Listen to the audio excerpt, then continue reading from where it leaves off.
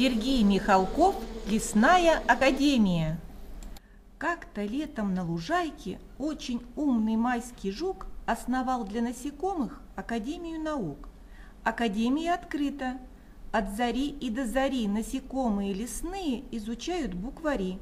А – акула, Б – береза, В – ворона, Г – гроза. Шмель и муха, не жужжите, успокойся, стрекоза. Повторяйте, не сбивайтесь. Д – дорога, Е – енот. Повернись к доске, кузнечик, сел ты задом наперед. Ж – журавль или жаба, З – забор или змея. Не смеши, клопа, комарик, пересядь от муравья. И иголка, К – крапива, Л – личинка, липа, лук.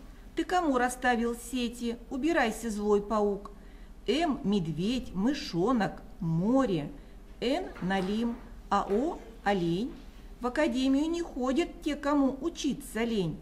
П – петрушка, Р – ромашка, С – сучок или сморчок. Таракан, не корчи рожи, не подсказывай, сверчок.